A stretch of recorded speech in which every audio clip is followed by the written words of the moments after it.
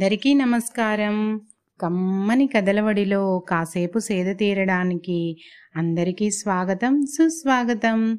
ఈరోజు మనం పెంచల నరసింహం గారు రచించిన లక్ష్మీ కటాక్షం అనే హాస్య కథను విందామండి.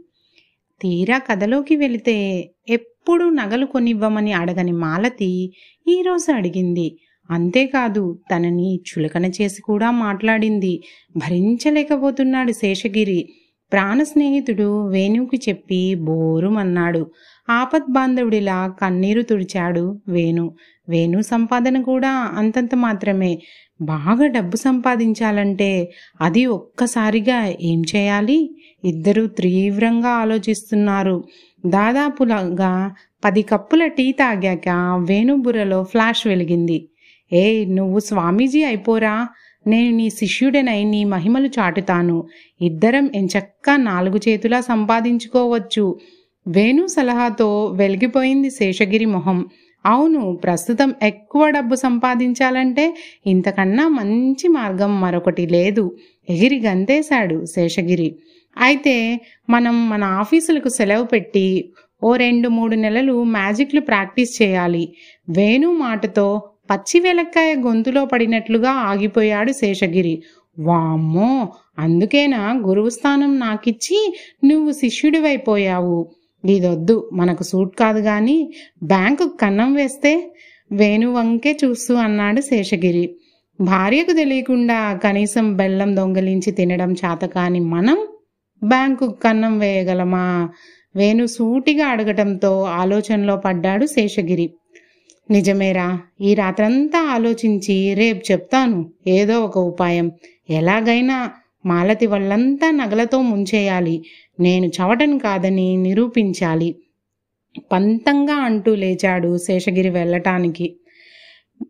ఇంట్లోకి రాగానే నేను మీకు విడాకులు ఇవ్వాలనుకుంటున్నాను. శేషగిరి అడుగుపెట్టగానే మాలతి ఘాటుగా చెప్పింది. నగల కోసమేనా? ఆఫ్టర్ ఆల్ నగల కోసం నాకు విడాకులు ఇస్తావా? ఆవేశంగా అన్నాడు శేషగిరి. కారణం అది కాదు. ఏదైనా నేను విడాకులు మీకివ్వకుండా ఎదురింటి అప్పారావుకో పక్కింటి రంగారావుకో ఇస్తాననుకున్నారా? రుసరుసలాడింది మాలతి. అవును ఇది పాయింటే. మాలతి విడాకులు ఇస్తే ఖచ్చితంగా నాకే ఇవ్వాలిగా. ఇంతవరకు ఓకే కానీ అసలు ఈ బుద్ధి ఎందుకు పుట్టింది వీడికి? ఆరేళ్ళ కాపురంలో ఎలాంటి అరమరికలు లేవే. ఆలోచిస్తున్న శేషగిరి బుర్రలో మెరుపు మెరిసింది. పది రోజుల క్రితం ఎదురింటి అలివేలు ఎంచక్క తన భర్తకు విడాకులిచ్చి పుట్టింటికి చెక్కేసింది. ఆవిడంటే మాలతితో సహా చుట్టుపక్కల ఆడవాళ్ళందరికీ అభిమానం మరి. ఆవిడ ప్రభావం అయి ఉంటుందేమో?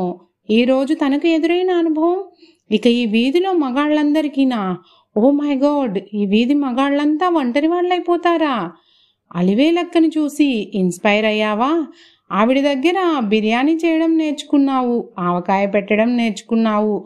అప్పుడు నేనేమైనా అన్నానా? ఇది కూడా నేర్చుకోవాలా? ఏం న్యాయం మాలతి? దుఃఖం వచ్చేస్తుంది శేషగిరికి. ఏడ్చినట్టే ఉంది మీ తెలివి. ఇది ఆవిడ నేర్పింది కాదు నాకు నేను తీసుకున్న నిర్ణయం. జీవన పోరాటంలో అలసిపోయిన నేను ఇక ముందు ఒంటరిగా ప్రశాంతంగా బ్రతకాలని నిర్ణయించుకున్నాను. భారంగా చెప్పి దూరంగా వెళ్ళిపోయింది మాలతి. ఈ డైలాగ్ ఈ మధ్య కన్నీటి కడవలు టీవీ సీరియల్లో విన్నాలే గాని అసలు విషయం ఏంటో చెప్పు మాలతి.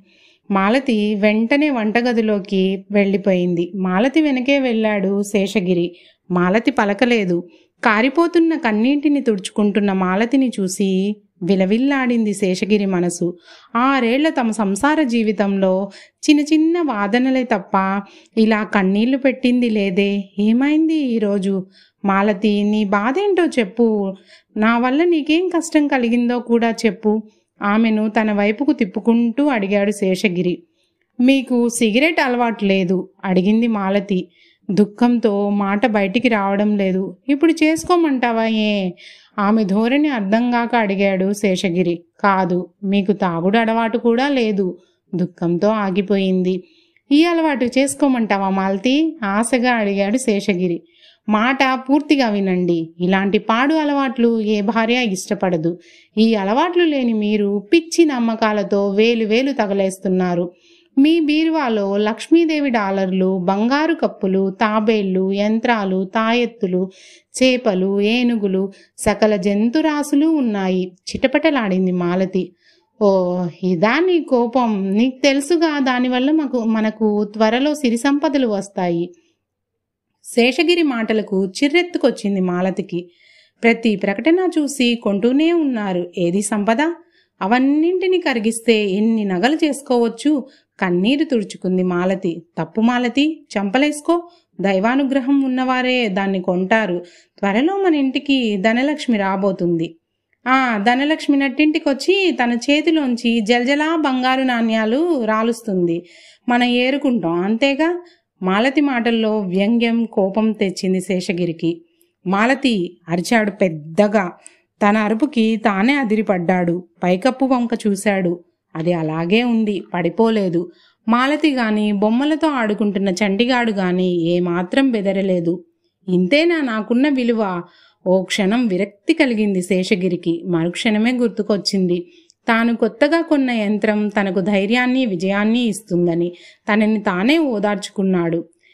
శేషు ఎంతసేపు అయింది వచ్చి? వంటగదిలోంచి వస్తూ అడిగాడు మాధవరావు. అప్పటికే భోజనం చేసినట్టున్నాడు. ఈ బామ్మర్తిగాడు ఎప్పుడొచ్చాడు? వీడే మాలతికి మంచి మనసును కలుషితం చేస్తున్నాడు. అందుకే అలా మాట్లాడింది ఈరోజు తన కాపురంలో నిప్పులు పోస్తున్న దుర్మార్గుడు రాక్షసుడు వీడిని తను క్షమించకూడదు కసిగా అనుకుంటూ బెడ్రూంలోకి వెళ్ళిపోయాడు శేషగిరి. పెద్దగా అరవాలనిపించినా అరవలేకపోయాడు. తనకన్నా నాలుగేళ్ళు పెద్దవాడు. పైగా మాలతికి ఆ అన్నంటే ప్రాణం. తనేమనగలడు విసురుగా తలుపేసుకున్న శేషగిరిని చూసి నవ్వుకున్నాడు మాధవరావు. చూడమ్మా నీ భర్త మూర్ఖుడే కాని దుర్మార్గుడు కాడు. కాసేపటికి లక్ష్మీరాజు వస్తాడు. మన ప్రయత్నం మనం చేద్దాం. బాధపడుకు తల్లి. చెల్లికి ధైర్యం చెప్పాడు మాధవరావు. అరగంట అలా తన గదిలో ముసుగు తన్ని పడుకున్నాడు శేషగిరి. అంతలో తలుపు కొడుతున్న శబ్దం విసురుగా తెరిచాడు. ఎదురుగా లక్ష్మీరాజ్ తను అలవాటుగా బంగారు డాలర్లు యంత్రాలు కొనే షాప్ ఓనర్ ధనరాజ్ కొడుకు లక్ష్మీరాజ్. రెండు చేతులు జోడించి నమస్కరించాడు శేషగిరికి. అతనితో తనకు పరిచయమే లేదు. ఎందుకొచ్చాడో ఆశ్చర్యపడుతూ కూర్చున్నాడు శేషగిరి. కొత్త మోడల్ డాలర్లు యంత్రాలు తాబేళ్ళు వచ్చాయని తండ్రి పంపిస్తే చెప్పడానికి వచ్చాడేమో. ఈ ఆలోచనను ఆనందించాడు శేషగిరి. ఈ అన్నా చెల్లెళ్ళ ముందే తను ఆర్డర్ ఇవ్వాలి వీళ్ళ తిక్క కుదిర్చాలి మంచి శకునాలిచ్చే రకరకాల జంతువులు బంగారు బొమ్మలను కొని తన బీర్వాను ఒక జంతు ప్రదర్శనశాలగా మార్చేయాలి. వీళ్ళకేం డబ్బు తనది కసిగా అనుకున్నాడు మనసులో. చెప్పండి లక్ష్మీరాజ్ గారు నాన్నగారు పంపారా? ఏవైనా మోడల్స్ తెచ్చారా? కొత్తగా వచ్చాయా? హుషారుగా అడిగాడు శేషగిరి. No sir. నేనందుకు రాలేదు. ప్రకటనలు నమ్మి మోసపోవద్దని చెప్పడానికి వచ్చాను. ఏడెనిమిదేళ్ళుగా మీరు మా షాప్లో ఏవేవో కొంటూనే ఉన్నారు. మీకేదైనా సిరి సంపదలు వచ్చాయా? అదంతా ట్రాష్. నమ్మకండి. వాట్? నీవు ధనరాజ్ గారి అబ్బాయివేగా? తండ్రికి ద్రోహం చేస్తావా? ఆవేశంతో అరిచాడు శేషగిరి. మాధవరావు మాలతి కంగారుగా లక్ష్మీరాజ్ వంక చూశారు. అతనికి కోపం వస్తుందేమోనని చిన్నగా నవ్వాడు లక్ష్మీరాజ్. వారి అబ్బాయిని కాబట్టే రహస్యంగా వచ్చి మిమ్మల్ని మాత్రం రిక్వెస్ట్ చేస్తున్నాను. లేదంటే పత్రికలకెక్కి మోసాన్ని బయటపెట్టేవాణ్ణి. కస్టమర్ల బలహీనతతో ఆటలాడవద్దని నగల వ్యాపారం మాత్రమే చేయమని అమ్మ చెల్లి నేను ముగ్గురు ఎంత చెప్పినా నాన్న వినడం లేదు. మీలాంటి వారి వల్ల కోట్లు సంపాదిస్తున్నాడు. మీరు ఎన్నిసార్లు మోసపోయినా మళ్ళీ మళ్ళీ ఏదో ఆశతో కొంటూనే ఉన్నారు. నాకెంతో బాధగా అనిపించేది. నెల క్రితం మాధవరావు గారి ఆఫీస్లో ఉద్యోగం దొరికింది. మీరు వారి బావ అని నిన్ననే తెలిసింది. అందుకే వచ్చాను. ఓ ఇది మా బామ్మర్ది గారి నిర్వాకమా? నెల క్రితం పరిచయమైన ఈయన గారి కోసం నాన్నగారినే తక్కువ చేసి మాట్లాడతావా? కోపంగా అరిచాడు శేషగిరి. మీరు అపార్థం చేసుకుంటున్నారు సార్. మీ నమ్మకం ఎంత అర్ధరహితమో ఇప్పుడే రుజువు చేస్తాను. మా షాప్లోనూ ఇంట్లోనూ కూడా వందల డాలర్లున్నాయి.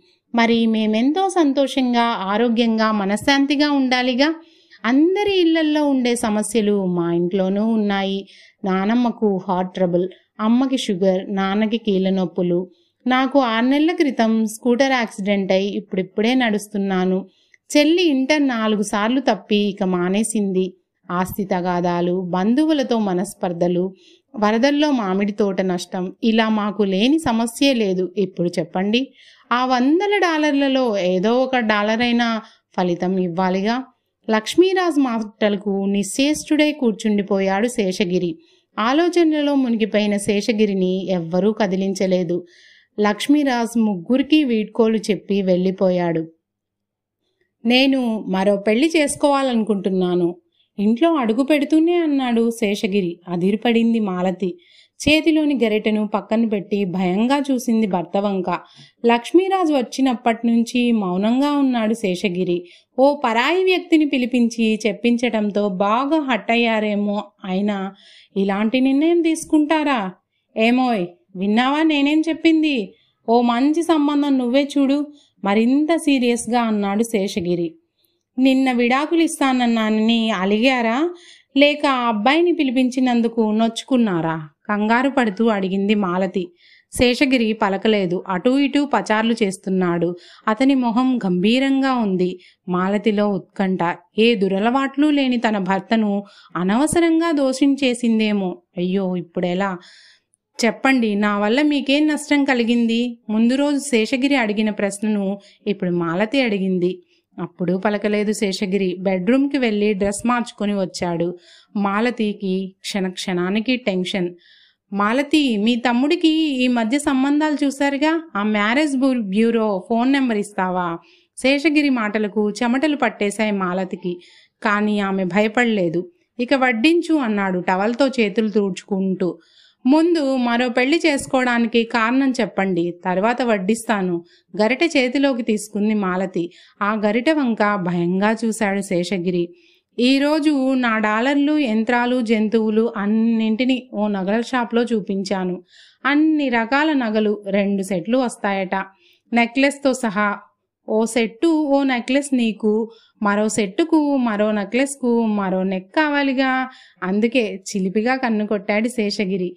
భర్తలోని మార్పుకు ఆనందంతో వికసించింది మాలతి ముఖం. తనని ఆట పట్టిస్తున్నాడని అర్థం చేసుకున్న మాలతి మరో గెరిటె చేతిలోకి తీసుకుంది. పరిగెత్తాడు శేషగిరి. నేను నగల మీది మోజుతో అడగలేదు. ఈ పిచ్చి నమ్మకం పోవాలని నగలడిగాను ఇప్పుడు మరో పెళ్ళి కావాలా? చేస్తానుండండి గరిటెతో వస్తున్న మాలతిని చూసి ఆడుకుంటున్న చంటిగాడి వెనక నక్కి కూర్చున్నాడు శేషగిరి. రే చంటిగా మీ అమ్మ నుండి నన్ను కాపాడరా? అరిచాడు శేషగిరి. తన చుట్టూ పరుగులు తీస్తున్న తల్లిదండ్రులను చూసి కేరింతలు కొట్టాడు చంటిగాడు. ఇక ఇంతేనండి కదా? కథ మీ అందరికీ నచ్చిందనుకుంటున్నాను. కథ మీకు నచ్చినట్లయితే లైక్ చేయండి షేర్ చేయండి సబ్స్క్రైబ్ చేయండి. ధన్యవాదాలు. ఉంటానండి.